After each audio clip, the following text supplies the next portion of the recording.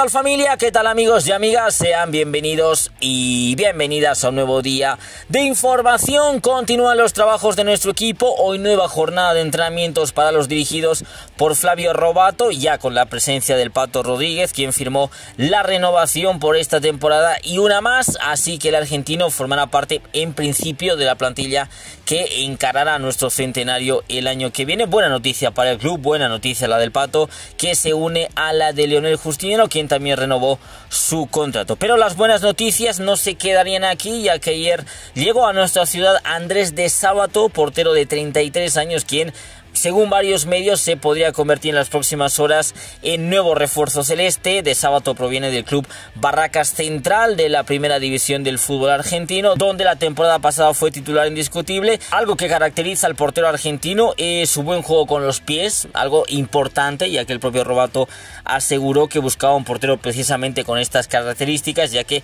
pretendía que el juego del equipo empezase desde atrás. Casualidades de la vida, y él salió en conferencia de prensa Carlos Emilio Lampe, a quien se le preguntó precisamente por este aspecto, fue claro y conciso, asegurando que eh, la competencia siempre viene bien y también afirmó que pese a las ofertas que recibió del fútbol argentino, su idea siempre fue la de quedarse en el club. Bueno, yo estoy enfocado en el, en el trabajo, en, en volvernos a poner bien físicamente, a tono con el balón, por ahí tuvimos tres semanitas de vacaciones, entonces uno pierde un poquito, ¿no? Pero, pero bueno, no, mi cabeza, mi cabeza está aquí, obviamente que, se han hablado cosas, que por ahí se han acercado equipos, pero es normal, ¿no? Yo creo que es normal, así como pasó a medio año, que fueron ofertas muy concretas que tuve y decidí quedarme, es lo mismo, ¿no? Es lo mismo. Eh, y uno, uno tiene que, que, que, estar tranquilo, que entrenarse bien y, y bueno, y disfrutar día a día. Sí, obvio, como siempre, ¿no? Como fue con Rubén. Eh, eh, yo, yo, a mí me gusta competir, eh, me siento bien, creo que terminé el año de la mejor manera. Entonces, bueno, obvio, de que tiene que venir alguien, seguro que va a tener que venir porque se fue Rubén. Y bueno, ya ellos decidirán si vendrá un, si irán a quemar un cupo o, vendrá un, un, nacional. Eso es decisión de, exclusivamente del cuerpo técnico y de la dirigencia. Veremos si de sábado puede hacerle competencia. Espero que sí, ya que la temporada pasada ni Rubén Cordano ni mucho menos Alex Arancibia pudieron hacerle sombra a Carlos Emilio Lampe. Pero la incorporación del portero argentino no sería la única, ya que se habla de la posible llegada de otro jugador, en este caso un central. Nos referimos a Renzo Orihuela, jugador joven de 22 años procedente del Montevideo City Torque, sangre charrúa para nuestra defensa, pero y a diferencia de lo que pasaba con De Sábato, que viene de ser titular con Barraca Central, eh, Orihuela llega con poco ritmo futbolístico, ya que apenas jugó seis partidos la temporada pasada. ¿Qué juega a favor de la posible llegada del central uruguayo? Lo primero que es un jugador del City Group, por lo que sería mucho más fácil el ficharlo, habría menos negociaciones, ya que eh, también al City Group le vendría bien el mostrar al jugador, ya que una de las máximas del grupo inversor es precisamente mostrar a sus jugadores para posteriormente venderlos a buen precio y no me puedo imaginar mejor escaparate que nuestro club, más teniendo en cuenta que jugaremos fase de grupos de Copa Libertadores. Así que veremos en qué queda todo esto. Serían dos llegadas que vendrían a rellenar dos sectores del campo en los que necesitamos refuerzo y aún nos faltaría, o a mi parecer nos faltaría un mediocampista para poder sobrellevar la salida de Gabriel Villamil. Querida familia, ¿qué les parece la posible llegada de estos dos jugadores? Como siempre les leo en los comentarios.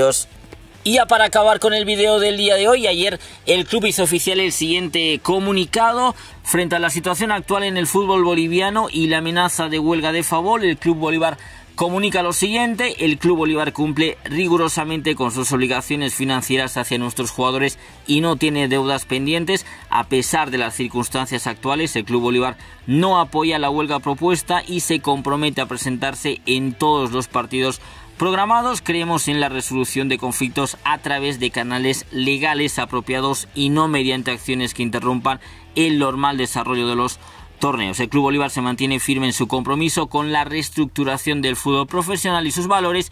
Continuaremos trabajando para mantener la unidad, integridad y la excelencia en el fútbol boliviano. Recordemos que Favol amenazó con una huelga que podía paralizar eh, el inicio de nuestro torneo este 16 de febrero si no se cumplen determinadas cosas. Una de ellas eh, era garantizar por parte de la Federación Boliviana de Fútbol el pago de los sueldos a los jugadores de los clubes descendidos la temporada pasada, Bacadíez, Palmaflor y Libertad Gran Mamoré y que sobre todo no se eliminasen los bonos a los jugadores que asisten a la selección. Recordemos que la federación aprobó que los premios a los jugadores eh, vendrían dados por objetivos conseguidos, algo que parece que no ha llegado a gustar a muchos de ellos. Incluso Favol amenazó con pedir a los jugadores a no asistir a la convocatoria a la selección en caso de que no se cambie esto último. En fin, nuestro fútbol que parece que nunca cambiará. Querida familia, déjenme saber también su opinión sobre esto último, que como siempre les leo en los comentarios. Ya hasta aquí la actualidad del día de hoy. Mañana estaremos con más información de nuestro querido amado Club Bolívar.